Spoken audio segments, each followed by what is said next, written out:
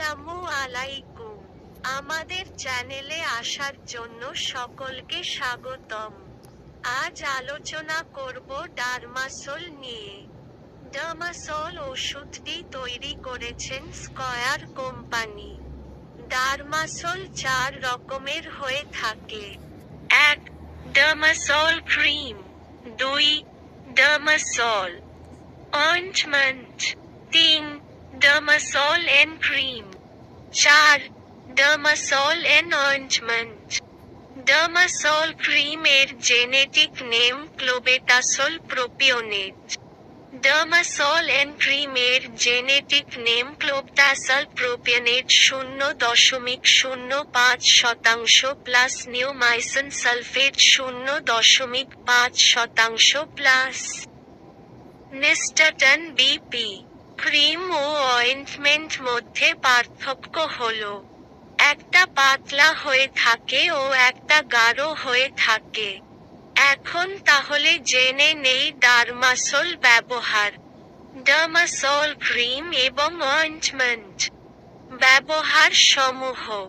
মাথার তালুর সোরিয়াসিস ও একজিমাতে ব্যবহার করা হয়।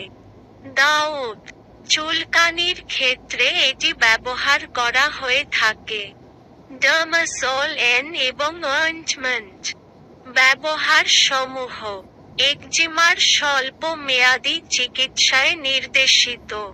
এছাড়া নিউরোডার্মাটোসিস সেকেন্ডারি ব্যাকটেরিয়া অথবা ছত্রাকজনিত সংক্রমণ, বিদ্যমান এমন সোরিয়াসিস এবং অন্যান্য প্রদাহ যেখানে সক্রিয় স্টেরয়েড ব্যবহার করে আশানুরূপ ফল পাওয়া যায়নি। এসব ক্ষেত্রে নির্দেশিত পার্শ্ব প্রতিক্রিয়া। সকল ওষুধের পার্শ্ব প্রতিক্রিয়া হতে পারে।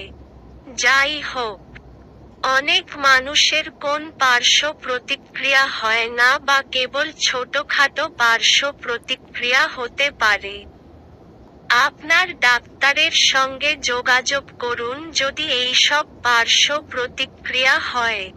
এই ওষুধের পার্শ্ব প্রতিক্রিয়া যেমন ত্বকে, জ্বালা পোড়া, চুলকানি, লাল ভাব ও ত্বকের রং গাঢ় হতে পারে।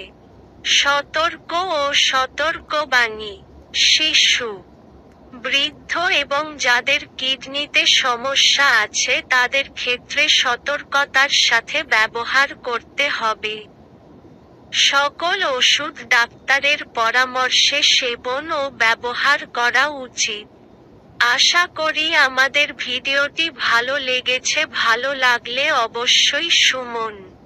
রিভিউ টেপস চ্যানেলটি সাবস্ক্রাইব করে রাখবেন। আমাদের সাথে থাকার জন্য সকলকে ধন্যবাদ।